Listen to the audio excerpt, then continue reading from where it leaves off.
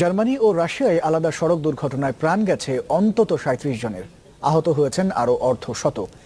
এদের মধ্যে জার্মানির বাভারিয়ায় পর্যটকবাহী বাস ও লরির মুখোমুখি সংঘর্ষে নিহত হয়েছেন আঠারো জন। আটচল্লিশ যাত্রী নিয়ে লজিস থেকে নোরেমবার্গ যাচ্ছিল বাসটি।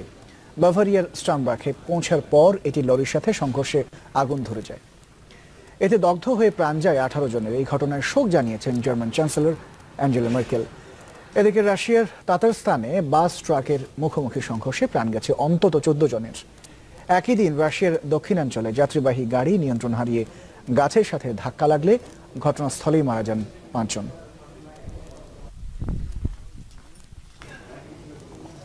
দর্শক এই ছিল নিউজ টোয়েন্টি ফোরে এতক্ষণ সঙ্গে থাকার জন্য অনেক ধন্যবাদ।